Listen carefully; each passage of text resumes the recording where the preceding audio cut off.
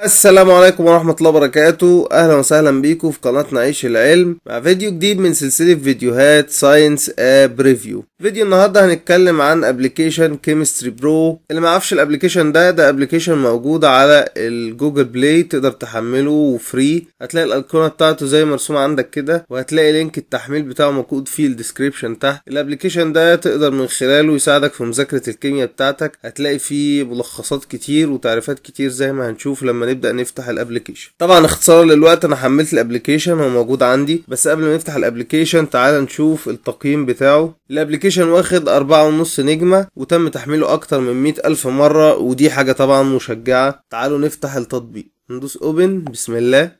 ده شكل التطبيق من جوه. أول ما تفتح التطبيق هتلاقي في عندك زي ما انت شايف فوق على الشمال كلمة chemistry وجنبها العلامة اللي هي بتاعة القايمة دي. تقدر تصفح ال application من خلال اختيار أي icon من الأيقونات اللي موجودة عندك دي أو تقدر تروح للقايمة اللي جنب كلمة chemistry دي وتدوس عليها. هيقول لك بالمختصر كده ال application ده عبارة عن إيه. ال application ده فيه أربع items رئيسيين. في topics دي موضوعات في الكيمياء. هتلاقي مكتوب فيها ملخصات عن كل موضوع منهم. وبعد كده في عندك elements بيتكلم عن العناصر اللي موجودة في الجدول الدوري وال periodic table والخواص بتاعته. تالت حاجة definitions دي هتلاقي فيها تعريفات لحاجات كتير جدا جدا جدا من اللي بتدرسها في الكيمياء سواء كنت في مرحلة اعدادي أو ثانوي أو حتى في مرحلة الجامعة. وآخر خانة هي ال scientist بيتكلم عن بعض علماء الكيمياء. تعالوا نبدأ نشوف icon icon من دول ونبدأ نتكلم عنها بالتفصيل. هنبدأ من تحت لفوق نبدأ أول حاجة بال scientist لو جينا ندوس عليها هتلاقيه ظهر لك قائمة من العلماء مترتبة ترتيب أبجدي ابتداء من حرف ال A وانت نازل بعد كده حرف ال B C D وهكذا. القائمة مترتبة alphabetical لأشهر العلماء بتوع الكيمياء سواء في عصور قديمة أو عصور حديثة زي أحمد زويل مثلا ألفريد نوبل بتاع جائزة نوبل أميديو أفوجادرو اللي حاطط قانون أفوجادرو وهكذا. طيب تعالى مثلا نشوف أحمد زويل لو جينا دوسنا على الأيكون بتاعته هيظهر لنا إيه؟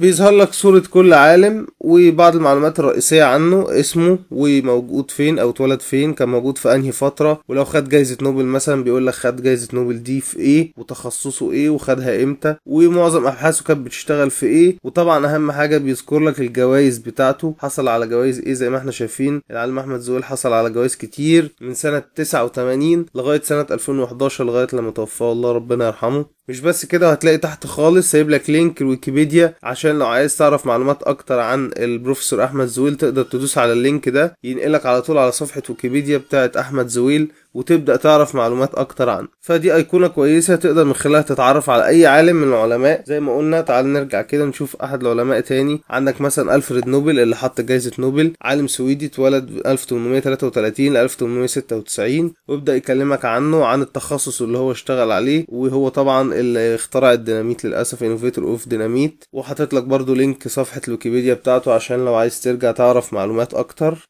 واحلى ميزه طبعا إن هو مرتب لك العلماء ترتيب alphabetical فأنت لو عايز تدور على أي عالم هتلاقيه بسهولة. وكمان في ميزة تانية إنك تقدر تعمل search على العلماء دي بدل ما تقعد تدور في القايمة. لو جيت دوست على علامة ال search اللي فوق على اليمين دي تقدر تكتب اسم العالم وليكن مثلا هنبحث عن عالم بويل فهتلاقي على طول ظهر لك روبرت بويل في خانة ال scientist. طبعا خانة ال definition دي هنقولها كمان شوية لما نيجي ال icon التانية. هندوس مثلا عالم روبرت بويل. هتدوس على ال icon هيظهر لك صورته وهيظهر لك برضو بعض المعلومات الأساسية عنه. اتولد إمتى وسنة كام واشتغل في إيه. وأشهر الحاجات اللي هو عملها طبعا Boyle's law أو قانون بويل وبرضو link صفحة الويكيبيديا بتاعته. ده كده باختصار الخانة بتاعت العلماء. تعال نرجع بقى ونشوف الخانة اللي قبلها. نرجع للقائمة تاني. تعال نشوف خانة ال definition. خانة ال definition دي بقى من أجمل الحاجات اللي موجودة في التطبيق وهو عامل لك تعريف مبسط لكل المعلومات الكيميائية اللي ممكن تخطر على بالك أو اللي ممكن تحتاجها زي ما قلنا في المراحل التعليمية الصغيرة اللي هو سواء إعدادي أو ثانوي أو مرحلة الجامعة مش الناس بقى بتاعة ال master وال PhD وبرضه ميزتها إن التعريفات مترتبة alphabetical أو أبجدي. مثلا هتلاقي في عندك تعريف ال acid بيقول لك ال acid ده عبارة عن molecule or ion capable of donating hydrogen هو عبارة عن حاجة عندها القدرة على إعطاء ذرة الهيدروجين الموجبة اللي هي البروتون أو hydrogen ion plus أو عندها القدرة إنها تكون رابطة تساهمية مع حاجة تكون عندها إلكترونات أو electron pair بتعطي الإلكترونات. تقدر بقى تتحرك في خانة ال definition دي زي ما أنت عايز تشوف كل الحاجات الموجودة. كاتب لك حتى تعريف عن alkane alkene alkyne alkyl group وهكذا. وزي ما قلنا برضو تقدر تعمل search من خلال icon ال search اللي فوق على اليمين دي.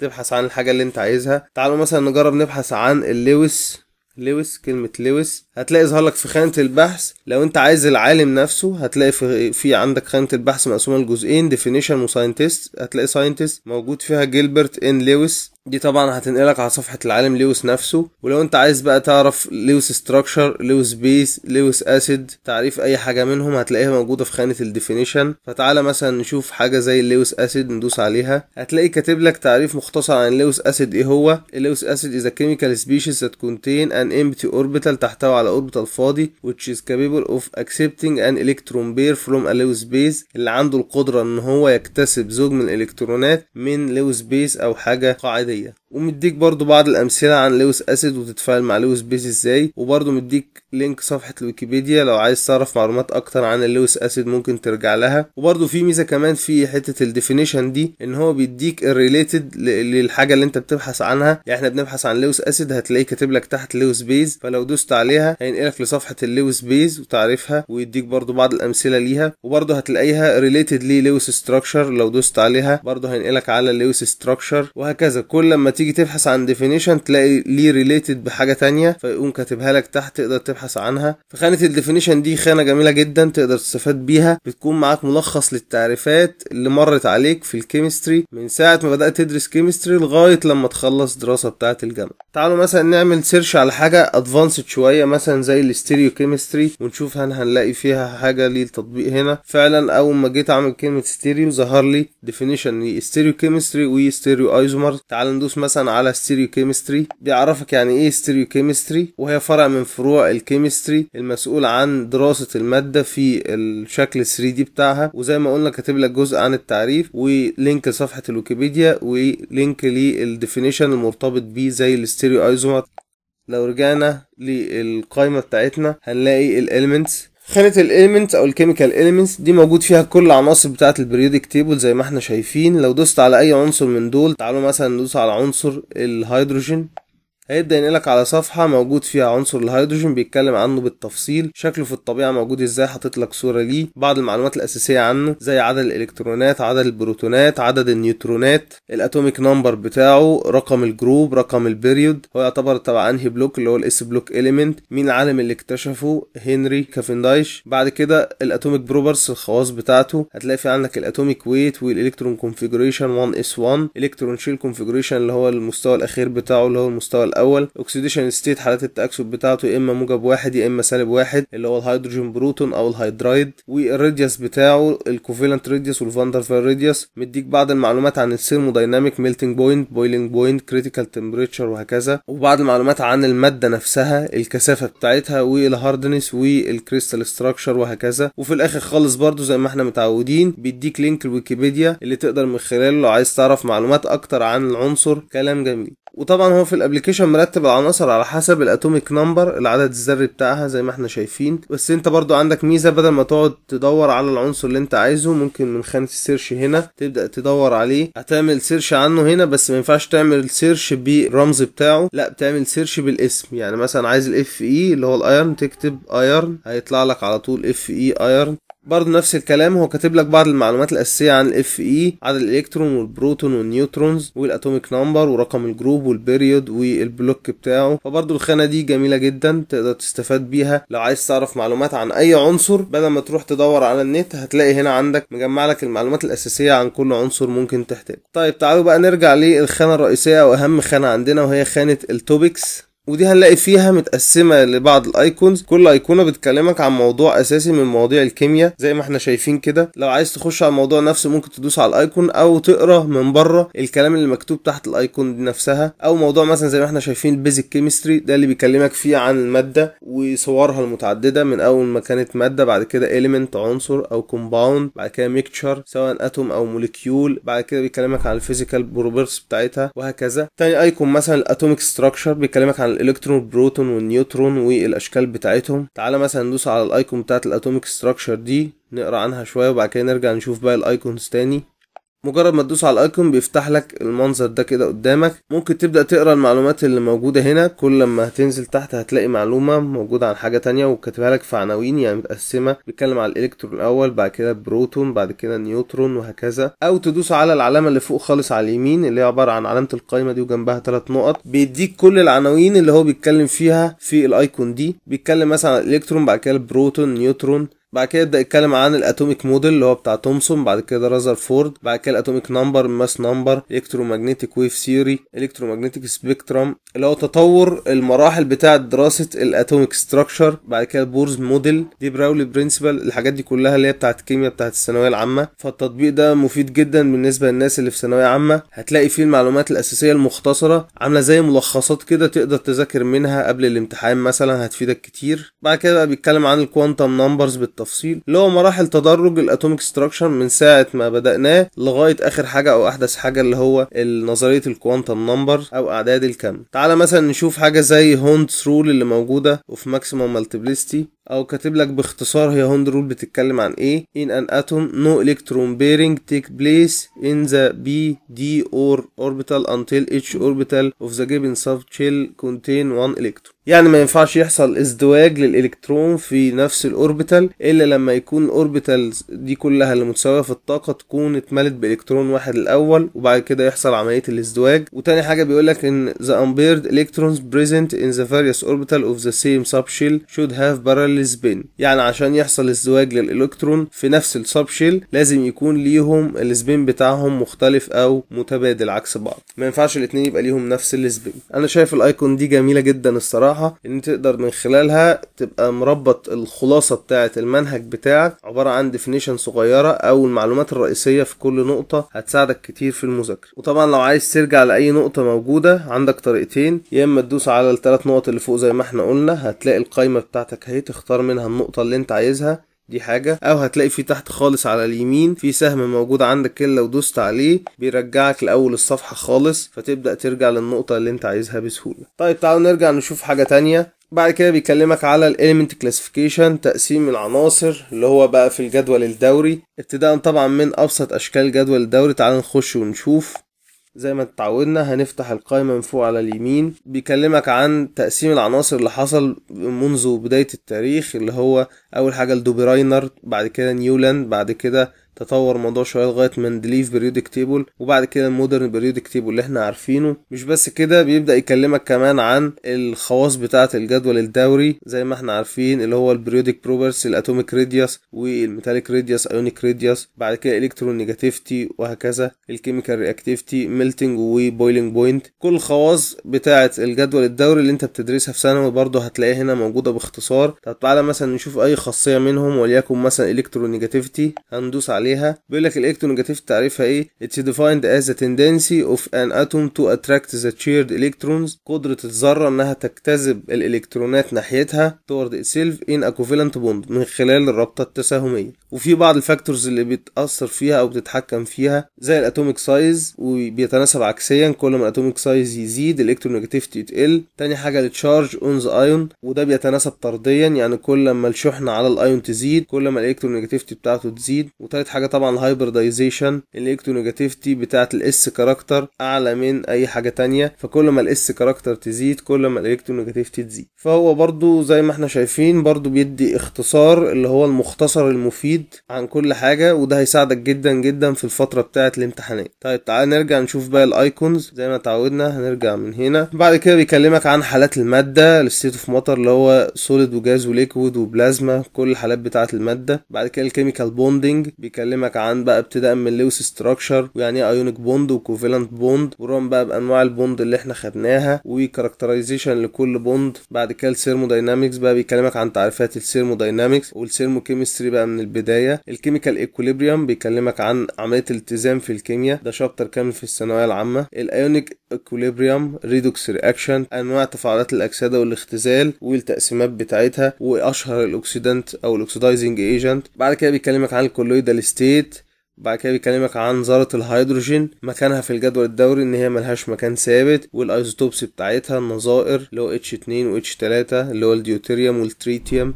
وبعد كده بيكلمك عن الهيدروجين جاز بقى وال dihydrogen والخواص بتاعته وهكذا. وبعد كده بيتكلم عن ال s block element عناصر مجموعة s برضه هيتكلم عن الخواص بتاعتها دي برضه في منهج الثانوية العامة. ال p block element نفس الكلام. ال environmental chemistry بعد كده characterization of organic compound ودي ميزة جميلة برضو موجودة في التطبيق إن هو مش بس بيكلمك عن الحاجات النظري ده كمان بيكلمك عن الحاجات العملي. تعالى مثلا نشوف ال characterization of organic compound دي نفتح القائمه بتاعتها هتلاقي إن هو بيكلمك عن method of purification لل solid زي ال crystallization وال fractional crystallization وهكذا و method of purification لل liquid زي ال distillation وال column وهكذا.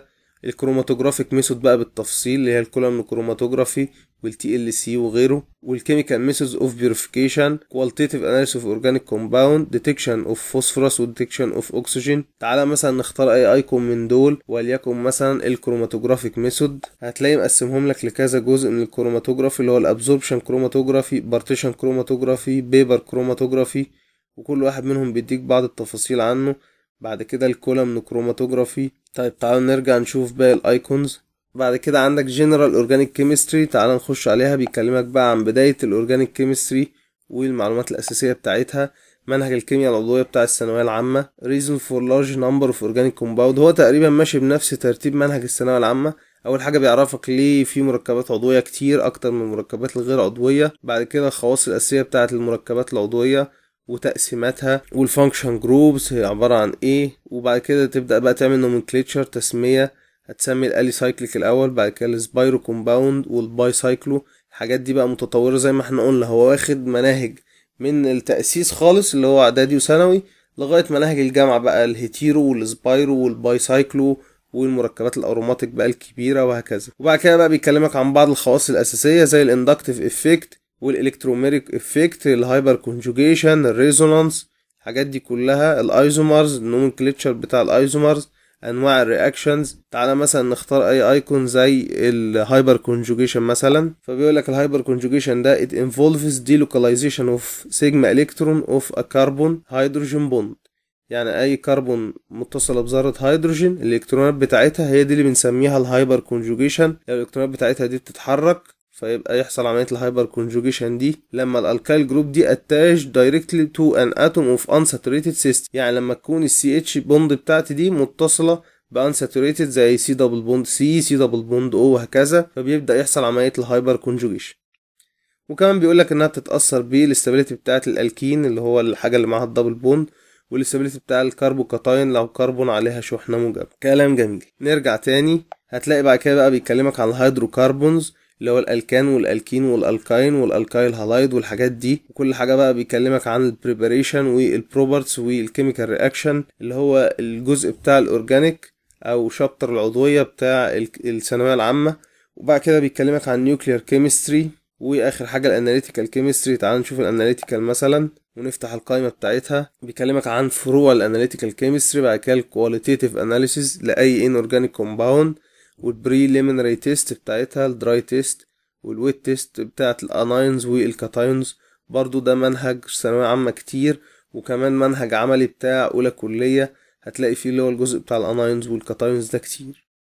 الصراحة هو التطبيق جميل جدا. أنا شايفه بس هو ينقصه حاجة واحدة إن مفيش أمثلة كتير للأجزاء اللي بيتكلم عنها. يعني هو بيتكلم بالمختصر المفيد قوي فده زي ما قلنا هينفعك أكتر لما تكون بتعمل ملخصات للمنهج بتاعك فهتلاقيه هنا مساعدك كتير في موضوع الملخصات ده اللي هو جملة جملتين بس يفكروك بالموضوع اللي انت بتذاكره لكن مفيش استفاضة في الشرح دي حاجة. وتاني حاجة مفيش أمثلة أو صور كتير توضح لك الحاجات اللي هو بيتكلم عنها ولا معادلات حتى كتير توضح لك أمثلة للنقطة اللي هو بيتكلم عنها. يعني مثلا لو جينا دخلنا على النقطة بتاعة ال hydrocarbons دي ونفتح القايمة مثلا ونشوف ال method of preparation of alkene هتلاقي بس إن هو كاتب لك إن preparation of alkene من ال alkyne وخلاص كده. حتى مش مستفيض في الشرح يعني حتى ما كتبش معادلة مثلا لحاجة بسيطة من ال alkyne وإزاي بحوله الألكين. حتى ما كتبش إن هو مثلا إيه ال reagent اللي أنا هضيفه على ال alkyne عشان يديني الألكين. بس في المجمل الصراحة هو تطبيق كويس مش وحش. وزي ما قلنا في معلومات كتير جدا جدا هتنفعك في مذاكرتك. وبكده نكون خلصنا الفيديو بتاعنا. ما تنساش لو عجبك الفيديو تعمل like و share و subscribe. وأشوفكم في فيديو جديد. والسلام عليكم ورحمة الله وبركاته.